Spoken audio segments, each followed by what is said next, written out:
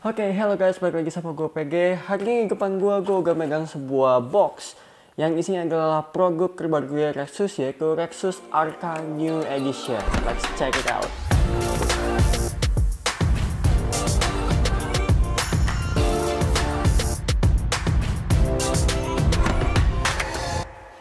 Oke, jadi produk ini Rexus Arca New Edition ini gue beli langsung dari uh, official store-nya Rexus dengan harga 310.000 kurang 1.000 rupiah. Uh, gue beli langsung pas hari hadiah launching tapi sayangnya gue baru sempet review dia sekarang karena gue lagi sibuk sama kerjaan dan segala macem dan finally gue bisa review juga barang ini dan uh, what me excited about this is the box. Boxnya keren banget bro. Untuk sebuah mouse ini adalah box mouse keren yang pernah gue lihat. Atau mungkin karena selama ini gue beli mouse-nya yang murahan.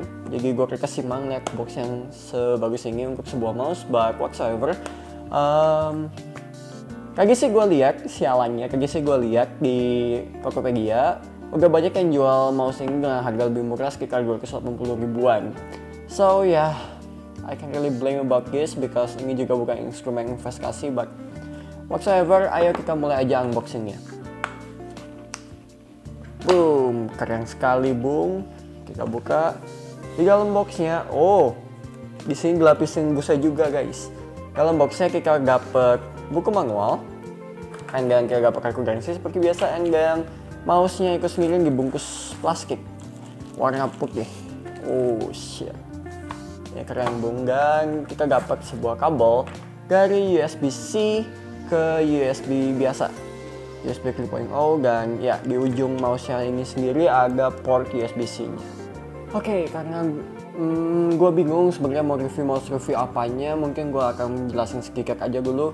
Di mouse ini kita dapat ya klik yang biasa klik kiri klik kanan. Yang agak scroll wheel yang bisa diklik juga, dan di sebelah uh, kirinya ada dua kompol makro. Dan di bawah scroll wheelnya juga ada dua kompol makro lagi. Buat kita bisa setting-setting mau dipakai buat apa.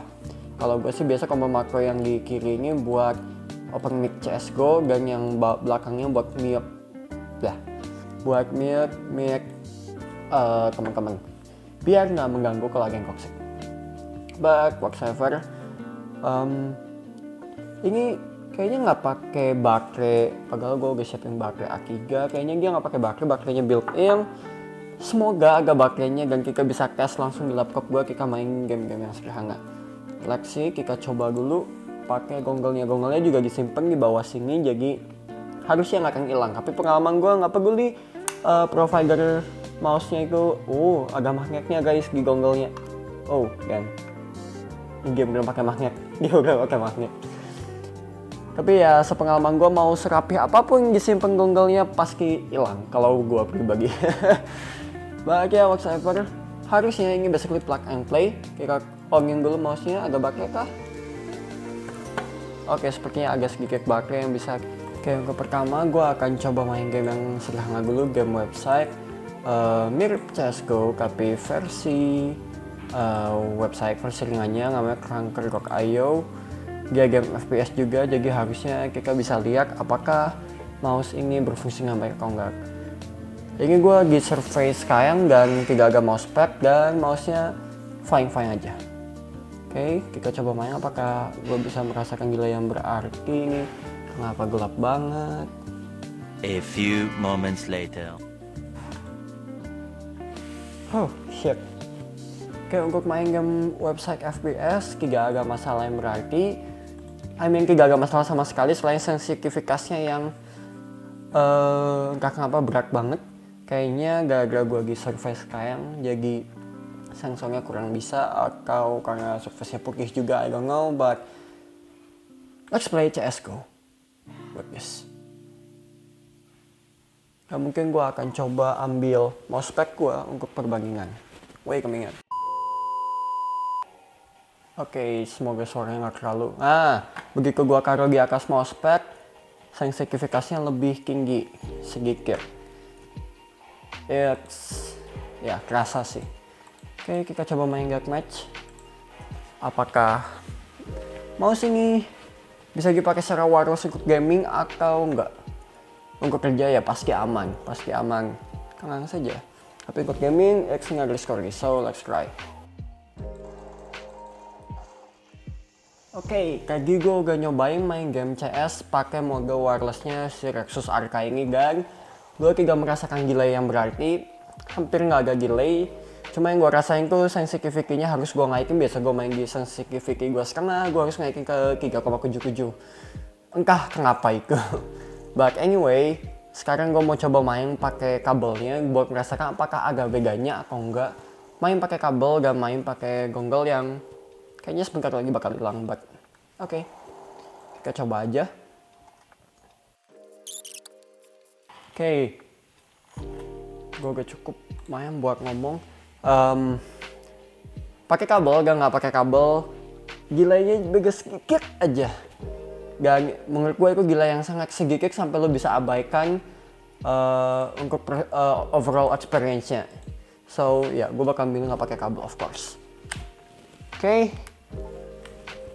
Apalagi yang bisa gue bahas mouse ini karena gue nggak begitu tahu tentang mouse. Gue juga nggak tahu uh, sensor apa yang dia pakai. Kakaknya sih ini salah satu sensor yang bagus yang gue lupa nomor serinya lagi akan gue tampilin kalau gue ingat Uh, kakaknya sensor ini biasanya dipakai di mouse-mouse yang menengah atas dan Lexus mendapatkannya di harga yang cukup murah. Jadi, I don't know.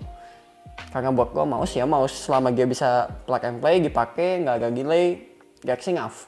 Dan feel gripnya juga enak. Mungkin cuma itu aja yang penting buat gue. No RGB, no lighting, no everything.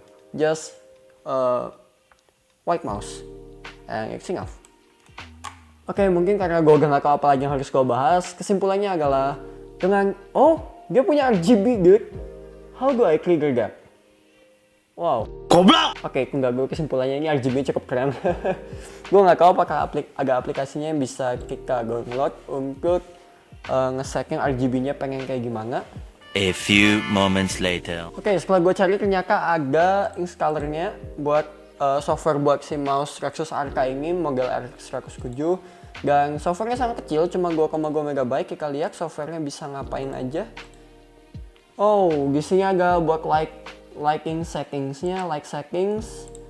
Agak belakang settingnya juga kita bisa akur. Oh di sini juga kita bisa naikin dan ngurungin GPI ternyata ternyata komponen sini itu buat naikin atau ngurungin GPI GPI maksimumnya di 5000 dan minimumnya di 800 I don't know if that's a good thing or not but yeah whatever Oh, jadi GPI tadi yang bikin si mouse ini berat atau ringan. Gap per inch. If I'm Ya nggak? Gap gap per inch. Goblok! Oh enggak enggak, di sini kita bisa sakit maksimumnya di 10.000 dan minimumnya di 100. Tapi kayaknya ini juga udah cukup udah cukup. 5.000 aja udah cukup. Ringan, sangat ringan. Dan di sini juga di aplikasinya ada uh, indikator baterainya, sini baterainya sisa 80% dan makronya di sini kita juga bisa ngasih settingan makro. Oke gue balikin dulu GPI nya karena 5000 terlalu besar kayaknya gue cocok di 4000an ya anyway semoga nggak ada fitur lain yang gue lupain lagi di Rexus Arca ini but kesimpulannya adalah dengan harga hanya 310 ribu dan harganya terus turun karena ini bukan bitcoin nggak bukan saham. Um, not financial advice. Harganya hmm, cukup murah karena tiap kali gue mau beli mouse wireless pasti temen gue nyerangin dari brand sebelah yang harganya 500 ribu dan ini cuma 300 ribu yang harganya terus turun well that's quite impressive. Dan dibanding mouse wireless yang biasa yang harganya 150 ribuan gue rasa ini mouse lebih worth it apalagi kalau kita consider masalah gamingnya dan masalah makro-makroan tadi dan fitur-fitur yang nggak berguna seperti liking tapi nice to have ya harga itu cukup worth it. So kesimpulan gue adalah ya kalau kalian memang lagi cari mouse wireless kalian bisa beli ini okay? mungkin segitu aja video gue tentang mouse uh, wireless Rexus Arca New Edition ini. Saya minta maaf gue minta maaf kalau uh, videonya kurang bermanfaat atau kurang berguna karena gue juga nggak tahu banyak tentang mouse. Yang pasti ini adalah first impression gue dan first experience gue menggunakan mouse Rexus Arca 107 new edition ini. Oke okay, like kalau suka dengan video ini. Kalau nggak gue nggak nggak suka silahkan dislike. Sampai jumpa di video berikutnya. Bye Oh, kalau kita nggak megang mouse untuk sekian waktu, dia akan otomatis sleep. Dan itu fitur yang baru gua tahu juga yang berguna untuk menghemat baterai. Oke, bye. Get dia, right? Bye.